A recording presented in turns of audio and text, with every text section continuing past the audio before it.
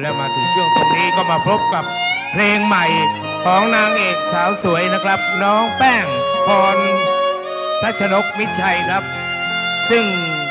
ทำเพลงเสร็จมาใหม่ๆนะครับ ก็เป็นงานแรกครับ ที่แฟนๆจะได้ฟัง เพลงนี้มีชื่อว่าปักป้ายขายที่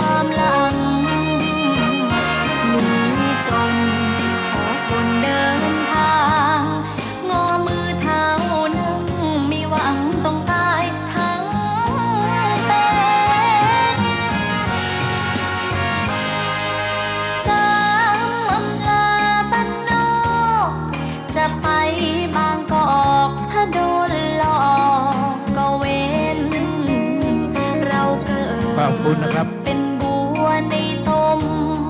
ไม่กลัวแดดลมพร้อมลุยโคลนเล่น ถ้าสิ้นสุดบัวหลุดจากตม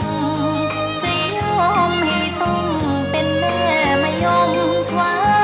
นแย้มครับก็ขอฝากผลงานเพลงนี้ด้วยไว้ด้วยนะครับ ก็เป็นเพลงใหม่ของน้องแป้ง แล้วก็เป็นเพลงแรกที่ได้ประเดิมร้องครับยังไงก็ร้องได้ไพเราะนะแต่เพลงนั้นจะอยู่ในใจของแฟนๆหรือเปล่า ก็ขอฝากไว้ด้วยนะครับ